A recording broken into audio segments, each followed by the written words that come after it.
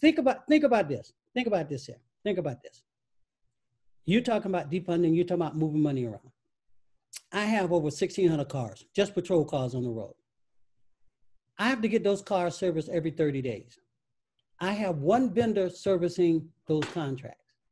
Why? What if I, Spread that wealth what- around, man. wait a minute, wait a minute. Think about this. Just listen. What if I find a person of color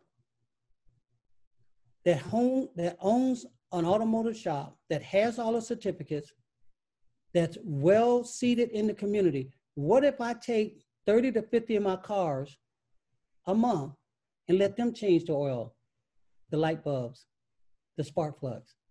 What do you think that'll do to that community? What do you think that'll do for that job? Do some. I don't think one person should have that contract. I think Wait, wait, wait a minute. Now, now, now think think about what think what I'm saying. We're talking about money not being in the in in the communities. Mhm, We just put money back in the community, right. and hopefully he would hire one or two people to help him service my cars. Absolutely, We just uh, absolutely. gave somebody some some work. We gave somebody some job, but Exactly, because absolutely.